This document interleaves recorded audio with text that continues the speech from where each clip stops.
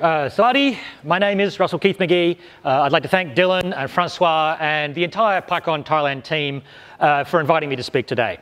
Uh, I come from Whadjuk Noongar Boodja, uh, otherwise known as Perth, Western Australia, uh, the little red pin ever so slightly to the south of where we are right now. I've had the opportunity to speak to pieces of the Python community all over the world, but no matter where it is, it's an absolute honour to be able to add another pin to my map. But who am I anyway? Well, in my day job, uh, I am a senior data engineer at Survata. Survata is a brand intelligence platform. Uh, we use Python and data science to deliver accurate consumer insights and predictive analytics, ensuring that brand marketing has the highest possible impact. Uh, they give me the flexibility to attend conferences like this one, for which I'm very thankful. I became involved in and I'm known to the Python community through my work on Django. Uh, I joined the Django core team way back in 2006. Django is a big part of the broader Python ecosystem, but it is not the only part. Django isn't the only Python web framework, and web programming isn't the only thing people do with Python.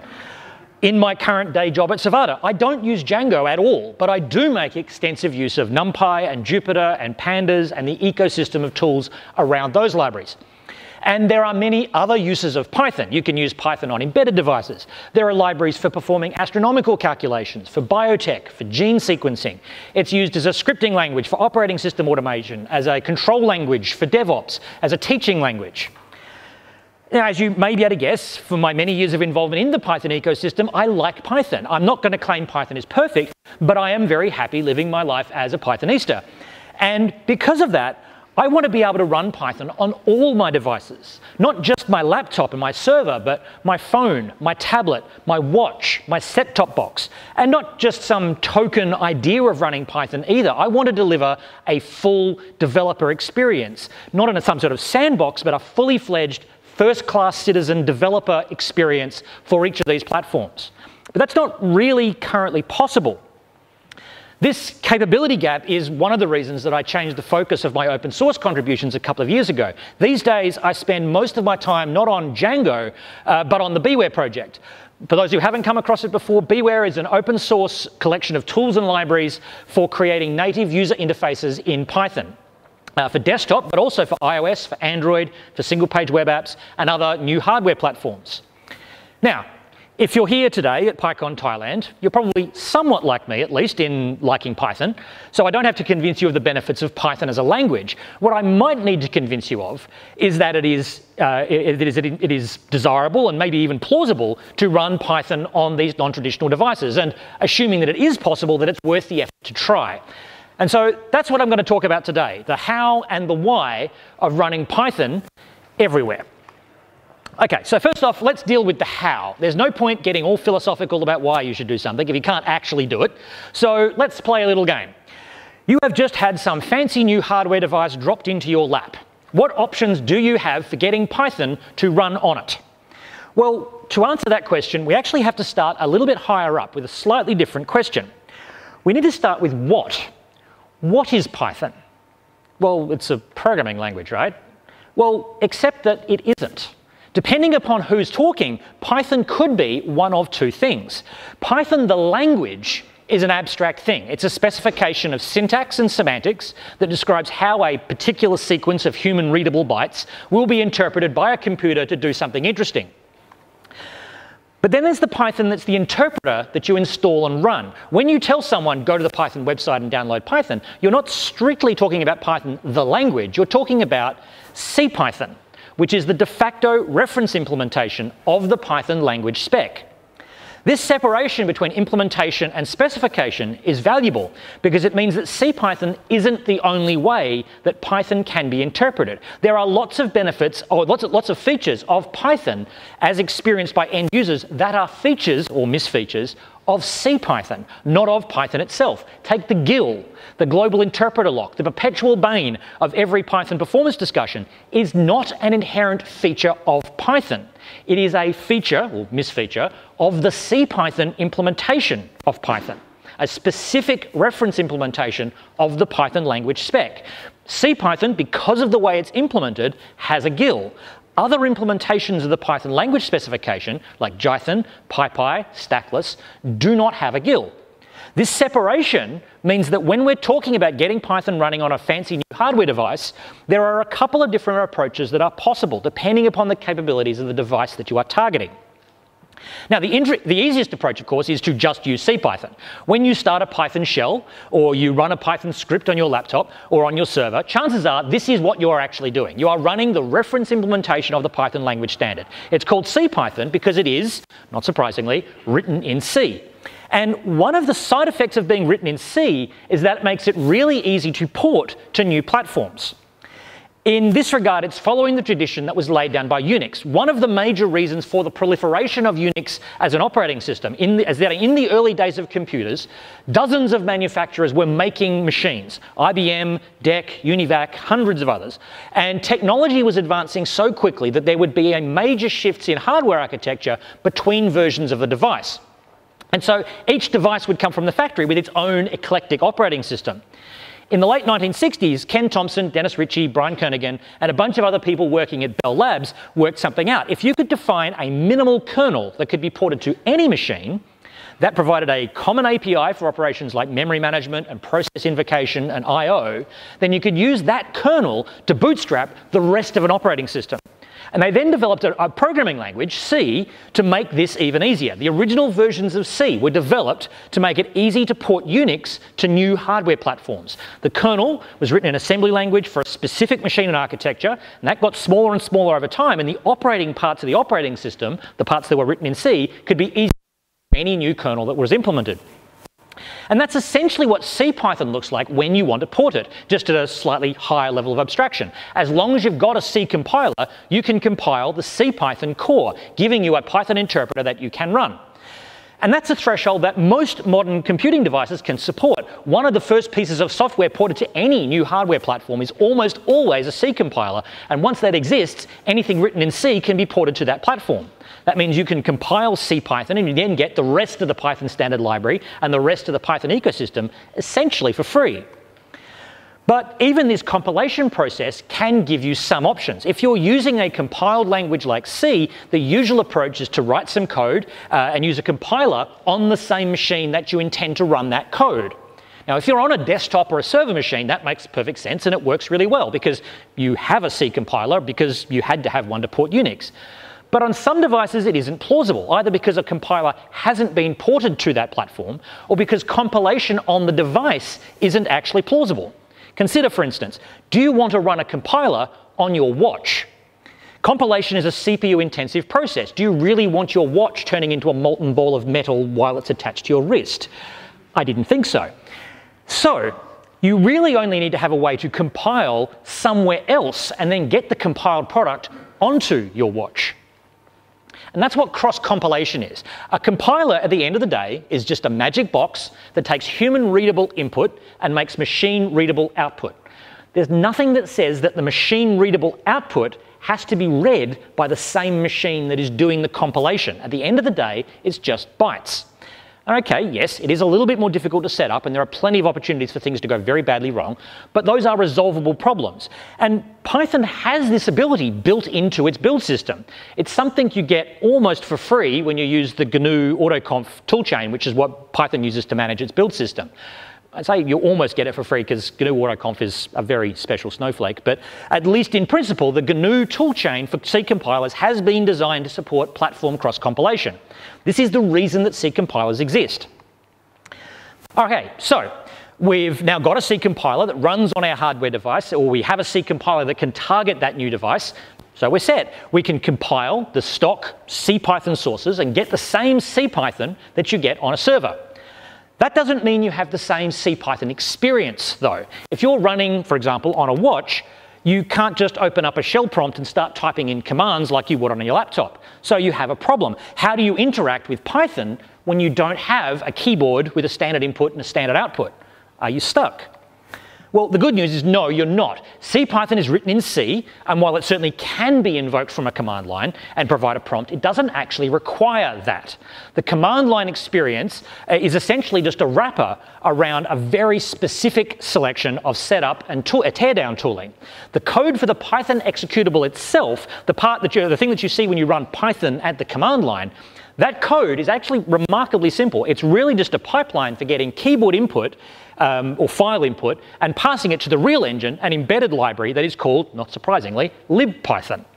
That library is what actually implements the run this Python code part of the puzzle.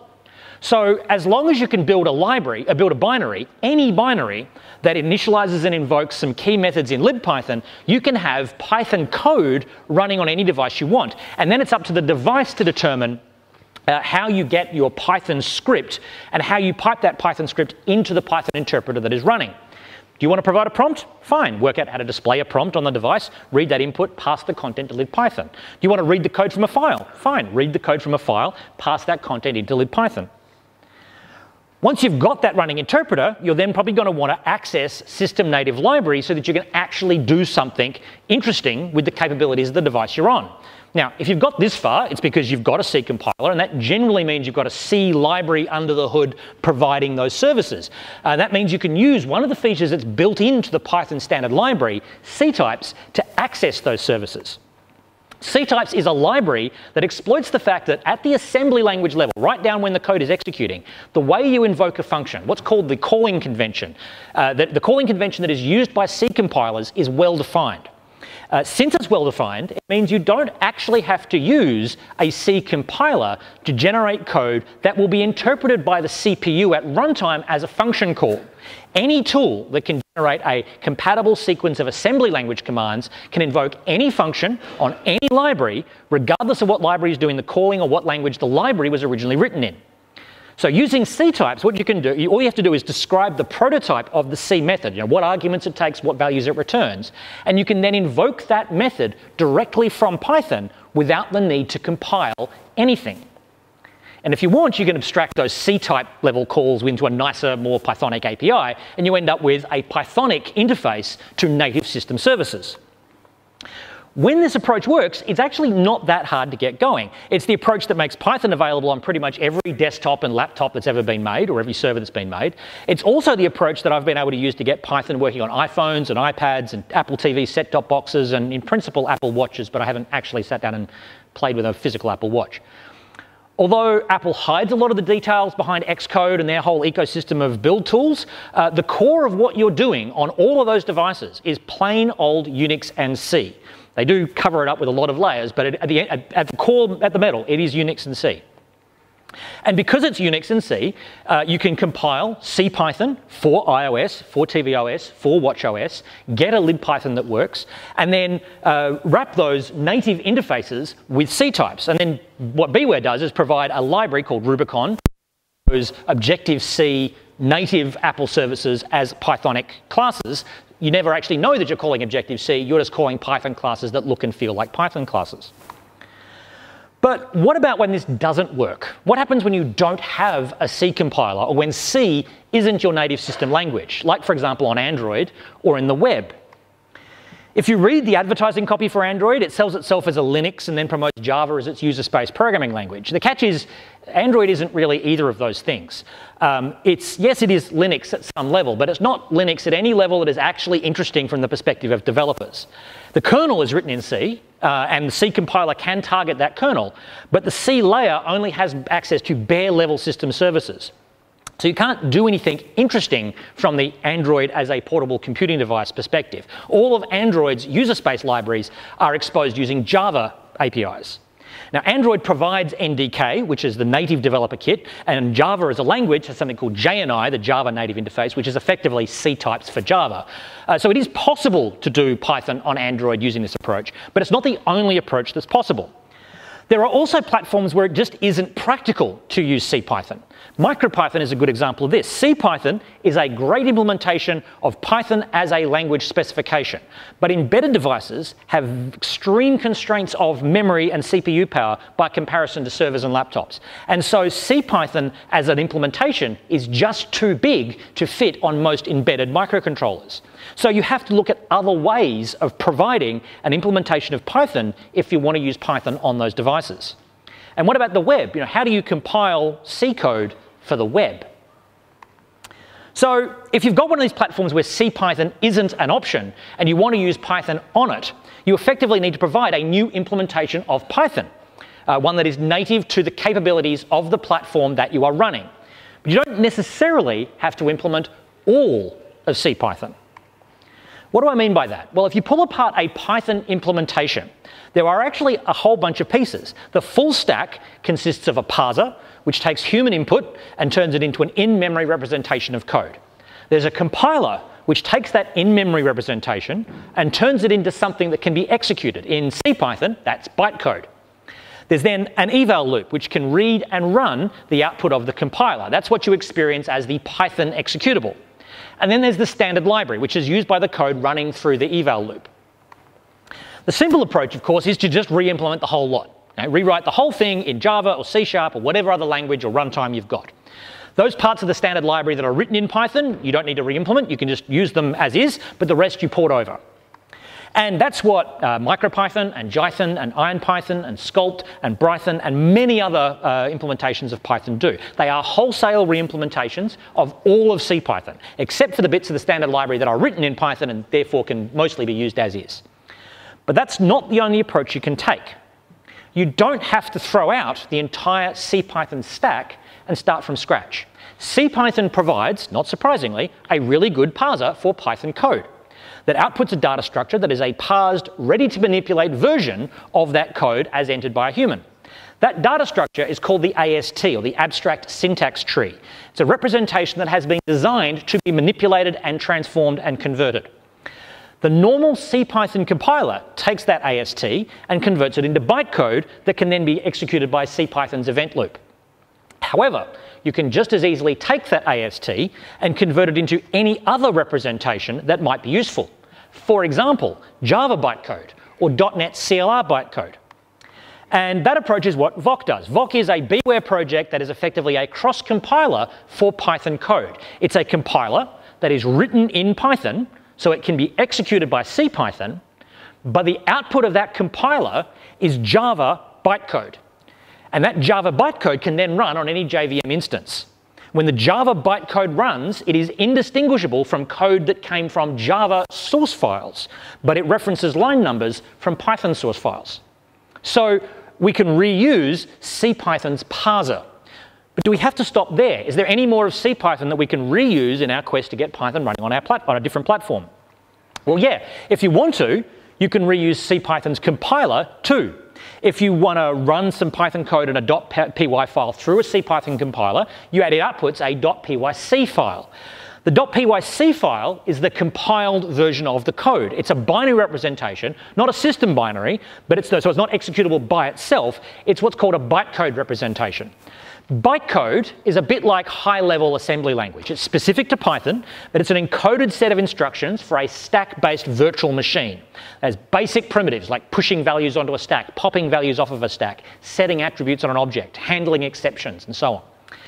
There is nothing about Python, the language, that specifies bytecode. uh, it's a runtime format used by the CPython interpreter. The CPython interpreter is what provides the virtual machine that can actually interpret and execute that bytecode. But there's nothing to say you can't create an independent implementation of the CPython virtual machine capable of running CPython bytecode.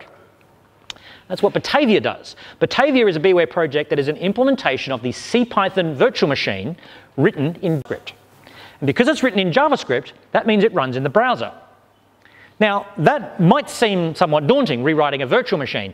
It's actually not that hard. After all, CPython bytecode only has 100 or so basic assembly level, level instructions, values, most of which are basic mathematical primitives, add value, subtract value, and so on. So re-implementing all of the, uh, the, uh, um, the Python bytecode machine doesn't take that much code. The biggest complication is that CPython makes no guarantees of compatibility because the bytecode specification is not part of the language specification. Between Python 3.4, 3.5, 3.6, there were several major changes in bytecode format and interpretations. You can stay on top of those if you want. It's not a major problem, just kind of an annoyance. If you still don't believe me that this is relatively simple, Ned Batchelder has a project called ByteRun that is a complete Python interpreter written in Python 1,600 lines of Python. a complete implementation of a, of a Python bytecode machine. Allison Kaptur uh, did a great write-up of that code in a book called The Architecture of Open Source. There's a chapter in that book that basically tears apart a Python implementation of a Python virtual machine. If you want to know how Python works at a low level, that is an amazing introduction. I cannot recommend it highly enough. But all these re-implementation efforts are predicated by the idea that you can compile C, C Python for platforms like the web. But what if you could? A few years back, a team at Mozilla looked at the JavaScript language as a whole and worked out the subset of the language that fast. In theory, if you only use that subset of the language, your end code would run really fast as well. And they called this subset ASM.js. Why? Because it's effectively assembly level JavaScript. It's a set of low level primitives for dealing with integers, floating point arithmetic, function definitions, and so on. And so um, people have started building compilers to target those primitives. Emscripten is a, uh, a backend to the, uh, to the Clang C compiler. Clang can parse human readable source code in a number of languages, most notably C, and can build an intermediate representation that encompasses the underlying requirements of that code. Emscripten can then take that intermediate representation and output ASM.js. So if you've got a language that Clang can compile, Emscripten can turn that code into ASM.js. Now, ASM.js is not a magical cross-platform fix. ASM.js code is portable and runs fast, but you don't get a transparent bridge between JavaScript and your native code. Integers and floats can be passed back and forth relatively easily. Strings need to be marshaled. There are complications that are in there. You also don't get automatic access to the DOM. Uh, now, this is something you can work around, and the W3C is working on it as well. What you do get, however, is a HTML canvas and OpenGL 3D, 3D graphics APIs. And there are some very cool 3D uh, games demos running in a browser that I can, I'll, I'll show you one of them in a second. But even ASM.js code can be improved upon. What is delivered by ASM.js is still JavaScript code. Admittedly, it's minified, completely illegible code, but it is, it is JavaScript code at the end of the day. It still needs to be transmitted in a text format and then parsed and interpreted and executed by your browser. But if we know ahead of time that our code is only going to use the ASM.js subset, can we send our code to the browser in a ready-to-use format? And we can, and that's what WebAssembly is, or WASM. WebAssembly is a binary format that formalizes the ASM.js language subset, or JavaScript subset, in a format that can be delivered to the browser as a pre-compiled, pre-parsed form. This makes it smaller and faster than ASM.js, even though fundamentally it's the same code that's going to be executed. Now, just as with ASM.js, there's no DOM access, so there's all sorts of bridging you need to do, but you do get Canvas and OpenGL libraries. How much do you get? This isn't a theoretical future thing either. If you head to quakejs.com, you will find a full port of Quake, uh, Quake 3 compiled and running in your browser. It takes a minute or two to download because it's you know moderately sized uh, bit of code that needs to get downloaded. But once it's there, it's a full three, three uh, full 3D first-person shooter running in your browser. WASM is supported by all of the major browser platforms today. If your platform, if your problem is suits WASM's current capabilities, you can, and you can set a minimum browser version of you know, nothing more than about two years old, you can use WASM today. And since Emscripten is a Clang backend, so it means it's a C compiler backend, you can use it to compile C code, which means you can compile CPython to WebAssembly. And that's what Pyodide is. Pyodide is effectively an embedded CPython in your browser.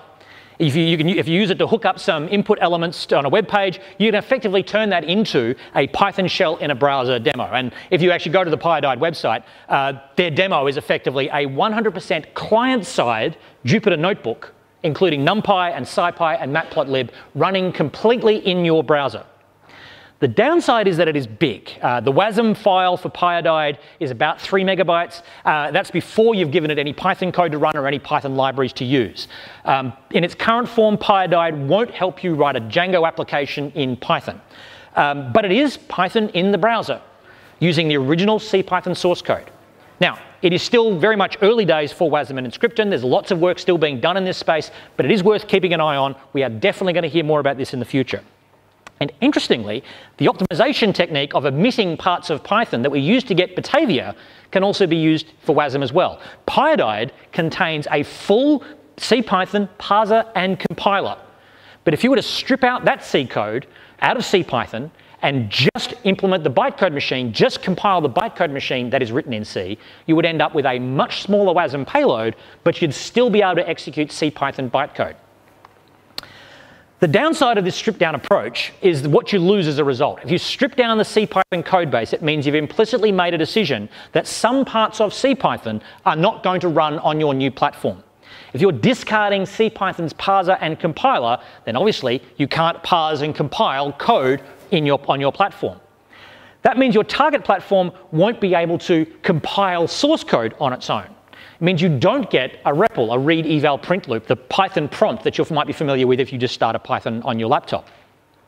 Uh, having a REPL depends on the ability to compile code. If you don't have a native code compilation capability, you can't have a REPL.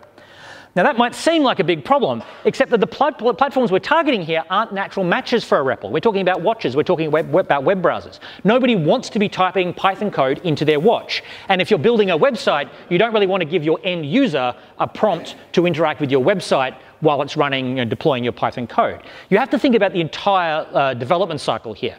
Remember, one of the reasons that we're porting Python here is so the same code can run in multiple places, multiple devices. You could develop your code on a desktop machine where you do have access to a REPL, and then deploy it to your watch or your phone or your web browser where you don't. And so the core, once you've established that your core logic of your app is working, then you can deploy it to the platform where it's actually going to run and do some final testing.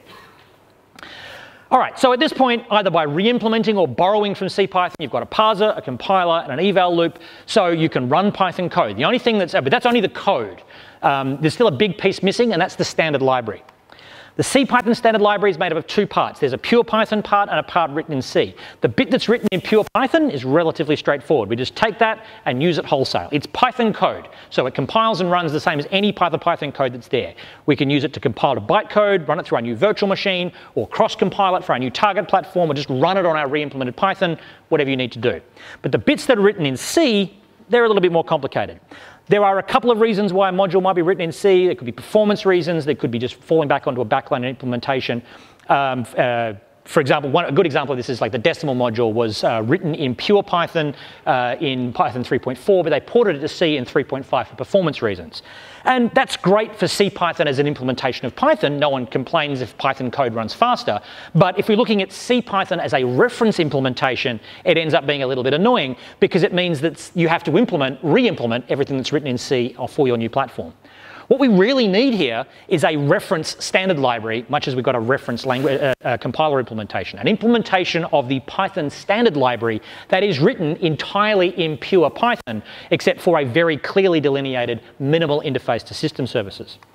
And that's what Ouroboros is. Uh, for those who don't know the mythology, uh, Ouroboros is the symbol of a snake eating its own tail. Uh, Ouroboros is a BeeWare project that is very much a work in progress, much like the rest of the BeeWare tools, but it or something like it is going to be an important part of the whole puzzle if we're going to make it easy to bring Python to as many platforms as possible. The last piece of the puzzle is deployment, which is an area where Python really doesn't have a good story at the moment. Even in the web world, which is considered one of Python's broad strengths, uh, Python's story lags a long way behind some other languages. Um, a Python web developer needs to know about WSGI and web server configuration and Kubernetes and activating virtual environments, which, you know, it's not too daunting once you know how it all works, but it's certainly a long way from one-click deployment and a lot more daunting than a lot of first-time developers are ready for. And hard as it is to believe, the, the story is even worse on desktop. Now, Python still doesn't have a consistent deployment story for giving code to someone else to run if they're not a Python developer. The good news here is this is a problem that can be solved, and moving to platforms like phones and tablets uh, will force us as a community to address those questions. If you want to distribute apps for your phone, you have to package them as standalone apps with a simple entry point, because that's the only way you can get an app into the App Store platforms, and it makes sense to look at our existing platforms at the same time. And that's what I've been trying to do with a project called Briefcase. Uh, it's a utility that will convert any Python project into a, into, into a deployable unit, an app ready for upload to an app store as a standalone installer, whatever makes sense for the platform you're targeting. Now again, it's early days for Briefcase. It works well on Windows and Mac OS and iOS, have some preliminary support for Android. If anyone has an interest in Linux, um, looking for a way to contribute to an open source project, I've definitely got some things I'd like you to look at. Um, and that is true of a lot of the tools that I'm talk, spoken about here. They are in the early stages of development, but that also means there's a very fertile ground for new contributors. Uh, I'm around for the rest of the conference. If this topic interests you, if you'd like to get involved in an open source project, come have a chat to me. No matter your level of experience, I can find something for you to work on. Okay, so that is the how. That's how you introduce Python to a new platform. And a couple of approaches that I have used to get Python running on a couple of uh, phones and tablets and in the browser. But why? Why is this important? Why have I spent so much of my time and effort trying to get Python to run in places where it doesn't currently run? For me, it's about evaluating our existential threats as a programming community. Python is on the crest of a wave at the moment. Over the last 28 years, we have built up a community and resources and expertise, and as a result, most surveys will put Python uh, in the top four or five programming languages that people should know or like to, like to program in, usually only behind Java and C, C++. The growth of PyCon events like PyCon Thailand is one great indicator of that success. So, in the midst of this success, it's on us to then look at the future and consider whether the light at the end of the tunnel uh, is the dawning of a bright tomorrow or a train coming straight for us. We need to ask, quo vadimus? Where are we going? Python has been around for 28 years. It was originally found a foothold as a systems integration language on servers. Over time, it found another niche in web servers, resulting in Zope and Plone and Pyramid and Django and Flask and others. The era of Python as a major web platform is you know, 10 years old. Since that time, Python has found a foothold as an education language, as a data analysis language. It's found these footholds because it's an easy and straightforward language to teach while retaining the power of a hardcore computer science language. We have developed a reputation as a community. We have developed that community. We have developed a rich ecosystem of tools and libraries around that core language. But the last 10 years has seen an explosion in the platforms that people are using for computing and the types of people that are using these platforms. These devices have very rapidly become an indispensable part of everyone's lives. They are achieving levels of market penetration that servers and laptops have never seen. And that means that these new platforms are becoming increasingly important parts of the development landscape. If Python doesn't have a good story on mobile, we run the risk of being left behind. Servers aren't going anywhere, but they've only ever been used directly by a minute portion of the world's community. And as for desktop machines, sales trends of desktop machines versus phones and tablets point to a time when desktop machines as we currently think of them either won't exist or they will be niche devices. So if using a general purpose language that can, if I'm using a general purpose language that can only be used on a tiny portion of computing devices, what hope does the language community as a whole have? I would argue not much. My son started high school last year. He doesn't have a laptop for his schoolwork. His entire educational experience is delivered through a tablet device. He wants to be like dad, he wants to learn how to program. Why is he going to learn Python? And how is he going to learn Python? If it doesn't run on the device that he uses all day. But that threat is also an opportunity. Many of the areas where Python has gained traction in science, in education, these are areas where these new devices have the potential to make a huge impact. Imagine a world where a scientist can knock together a quick user interface to put in the hands of experimenters to gather information or provide an app so that citizen scientists can log local flora and fauna or environmental conditions. Imagine a world where you can get kids excited in programming because they can build a game that runs on their phone that they can play against their friends or show to them, their parents and their grandparents. Imagine a Django Girls style event where students leave the tutorial not having just built a blog, but having built a mobile phone app that can upload photos to that blog. Python is a general purpose programming language. There is no reason it has to be tied to laptops and servers and historical platforms. But we do have to pay attention to the platforms that are emerging. But if we can adapt to this platform change, it is a huge opportunity because there is immense power in being the language that people use to discover computing. Consider the world 20 years ago. Visual Basic was one of the most widespread programming languages in common usage, not because it was an especially powerful or, or, or elegant computing programming, programming language, um, but because it was present on every Windows computer and it was accessible to non expert users and enabled people to do powerful things with the Office suite of apps. Visual Basic was their first contact programming language, and many users never moved past it.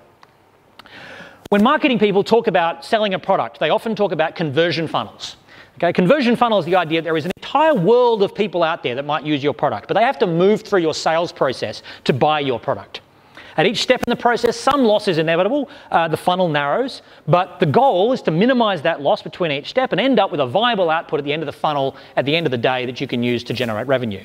It can help to think about adoption of uh, software projects in similar terms. There is an entire universe of people out there that might want to use a programming language or use an open source project. Some of those potential users will become actual users and try out your product for the first time. Some of those people who try the product will continue to use it long term, become uh, uh, long term users of your product. Some of those users will start to help other people and they'll become community members. Some of those community members will start contributing back to the code and start uh, becoming contributors to your project. Some of those contributors will start hanging around and become core members of your team. Some of those core team members will eventually become project leaders. Now, there are two ways to hack a conversion funnel.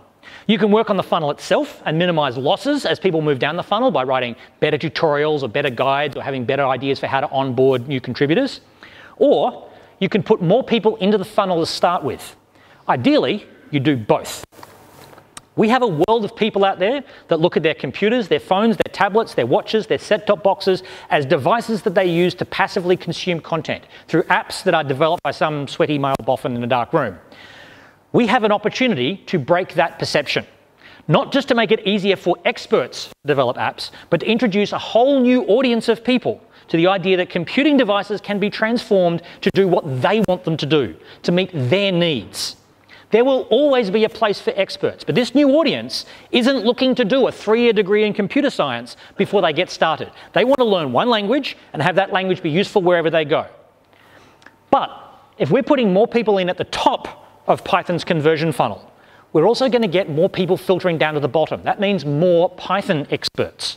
And if we play our cards right, it will be a more diverse audience of experts, not just male boffins in dark rooms. People from a wide range of social, uh, uh, racial backgrounds, economic backgrounds, with rich, diverse experiences to bring to the discussion that shapes the evolution of the world around us. And the result will be a more vibrant Python community overall. But this opportunity won't be around forever. Python has a huge and successful ecosystem of tools and libraries. That ecosystem has taken decades to develop. But Python isn't, if Python isn't available on the languages and the, oh, sorry, on the platforms of tomorrow, that ecosystem is going to stagnate. People are going to seek out languages and ecosystems that are available on these new platforms. I would argue that we are in a race. Either Python will develop support for these new platforms, or the other ecosystems that do have a story on these platforms will develop Python analogous ecosystems. And if that happens, Python becomes less relevant as a platform. The good news is that Python has the advantage here. Getting Python to run on a new platform is a much, much smaller task than reproducing all of PyPI in a new programming language. But that doesn't mean it's inevitable that Python will win this race. Actually doing the work to enable Python to be a viable solution for phones and tablets that's going to take resources. And if we want the work to be done in a timely fashion, that means we are almost certainly going to have to one to get the work done. If you pay people for their time, they are much more likely to be able to uh, maintain their attention on problems until designs are fully fleshed out, consequences are considered, and work gets done. I don't want to undermine uh, uh, the significant contribution that volunteers have given to Python and the Python community, but I do want to challenge the idea that volunteering is the only way that Python or open source can progress. We saw an amazing demonstration of this in the Python community with the rewrite of PyPI. PyPI, the Python package index, has been around for 15 years. It badly needed a rewrite for almost half of that lifespan. Everyone agreed that that rewrite needed to happen, but the work never got finished. Why? Because nobody was being paid to work on it. Then Mozilla gave the PSF a grant of $170,000, and the work was done in six months. Why? Because a couple of people could focus on doing the work, getting the job done, instead of trying to fit in bug fixes on weekends between their kids' football games or trying to convince their boss that although improving PyPI wouldn't make us any money as a company directly, it's a worthwhile contribution to the community. History has shown repeatedly that research and development is how a company or an organization ensures support in the long term. And companies and groups that don't do R&D eventually get eaten by, by organizations that do. I have been doing what I can with, with BeeWare, but I'm really only doing that on weekends. And the same is true of a lot of Python and the Python ecosystem. For the most part, the Python that we have today has been developed in the spare time of volunteers or whatever fragments of time engineers have been able to extract from their employers. What if it didn't have to be that way? What if Python had an R&D division, a permanent engineering group that could focus on strategic tasks in the Python ecosystem? When Bell Telephones gave a bunch of engineers the resources to engineer strategically, we got Unix. When you give uh, uh, talented people the resources to think big, amazing things happen. The Python community has talented people. We just need to give them the resources to think big thoughts, to do big things, without the need to demonstrate that the work will generate profits in the next quarter, or without the need to spend half their time on one grant uh, writing the grant proposal for the next grant. And it could give, open the door to giving high profile paid career opportunities to groups that have been historically underrepresented in open source development, like people in the developing world in Thailand. The underlying problem we have here, though, is how do we pay for this? Open source is an amazing way to do engineering, but it is not a business model. We need to work out how to fund our engineering goals uh, uh, without uh, compromising the social goals of open source as a movement. But we can't avoid these discussions. Completely aside from the strategic risk that exists to Python as a platform, the way we are addressing our technical issues today is having a very deep impact on some people in our community. I have almost lost count of the number of talented developers around me who have burned out or come very close under the, the, the, load that's been imposed by volunteer efforts. I made no secret of the fact that a couple of years ago I went through a major depressive episode, and that episode was in part caused by the pressures of contributing to Django. I'm a lot better now personally, but the underlying community pressures that led me to burnout are still present. This isn't a problem with an easy solution. It isn't as simple as just telling someone, oh, you don't have to volunteer if you don't feel like you can anymore. If you are the maintainer of an even moderately successful project, there's a lot of you tied up in that project. You'd like seeing your project get used. The problem is that your inbox is filled with, why haven't you fixed your bug emails? Sometimes from people who should know a lot better and the dissonance between knowing that there is work to be done and knowing that that work is valued by people in the community and literally not having enough hours in the day to do that work and keep that community happy, that's where you get burnout. The good news here is that this is a well funded industry. The resources exist, we just need to work out how to channel them effectively. If we can start paying for the resources we are consuming as a community, that can directly uh, impact on the incidence of burnout in our community. It means that those doing critical maintenance and R&D work won't be squeezing it in on weekends or in between paying gigs. They will have the resources to do the work that needs to get done. That takes the taking the pressure off maintainers is a first critical step. But inadvertently, there is a, there's another benefit. It provides a way to address diversity in our industry. Volunteers, by definition, are made up by people who have the time to volunteer. Um, if you've got a family or children or loved ones that need care, those commitments take priority and they limit your ability to volunteer. You want to really address diversity in our community? Make sure you're not just taking from the pool of people who have copious spare time, which broadly speaking means white middle to, uh, middle to upper class Anglo Saxon men in the West aged 16 to 30. I've spent a lot of time in this talk discussing the technical challenges of getting Python running on new hardware platforms. Those ultimately are the easy part. The technical aspects of computing problems almost always get the most attention, but they are also the easiest problems to solve. They either have an answer or they don't, and if they don't, they have a, a workaround which is in varying degrees elegant or inelegant. You really just need the resources to, to address those, to, to build those solutions. But open source projects are ultimately about communities of people with aligned interests uh, acting collectively. This means issues of communication and collaboration and identity and social justice and inclusivity and funding. These are all intertwined with the technical aspects because without the social aspects, the technical aspects can't be solved. And these challenges don't have simple answers. If you are in this room, I would argue it is almost certainly in your personal interests to consider these problems and contribute to fixing them where you can. The greatest shocks in our society occur when something we assume is plentiful and ubiquitous disappears. Petrol, electricity, clean water. When a city has a petrol shortage or a water contamination scare, society falls apart quickly. The same is true on a much less catastrophic scale with open source software. Witness what happened to the software industry when the Heartbleed bug was discovered in OpenSSL. If your work, commercially, educa- in an education context, whatever, depends on an open source project and you aren't contributing to ensure that open source project is well maintained and has a plan for the future and knows what will happen when its biggest contributor to that project has to step down or is unable to continue, then your own project has a clock on it. As a community, we need to institutionalize a minimization of the expectation of free labor. If you've got a project role that is going to use resources, be it material, labour, emotional energy, don't assume those resources will be available forever in boundless quantity. Be aware of what you are consuming. If you are a commercial organisation who depends on an open source project and you aren't taking steps to contribute to the projects that you use, then I would argue you are being criminally negligent to your investors because you have not secured your supply chain. You haven't mitigated a key risk in your technology stack. So don't just give, or don't just take, give back in tangible ways, either with hard commitments of time or with cash that organisations like the PSF and the DSF can use. And this is especially important if you are a large organisation that has extraordinary resources at your disposal and derive immense benefit and profits from the open source and volunteer community uh, uh, projects that you use.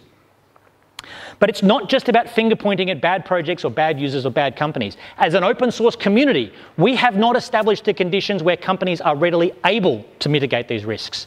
The free software community has spent lots of time and effort discussing the importance of user freedoms. However, they've been almost silent on the unintended consequences of this position. When software is free as in freedom, it is almost always free as in beer as well, which means the task of making an income off that software is much harder.